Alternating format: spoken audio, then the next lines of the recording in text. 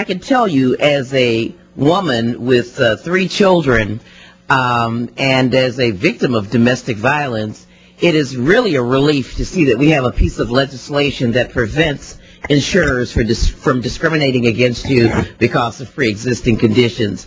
You know, when you're a woman, you're caught in this conundrum that you're an actual potential or former mother.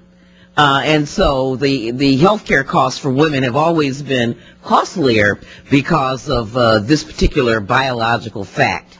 And, and, and, to, it, and to think of um, how outrageous it is to have an insurer um, not qualify you for health care if you've been the victim of domestic violence to actually say because you've been beat up uh, by a partner, we will not insure you. This is absolutely outrageous. This is one of the worst, most despicable practices uh, that the government takeover of uh, of health insurance reform will will end. Thank God we're taking over this particular um, defect in insurance coverage. I yield back.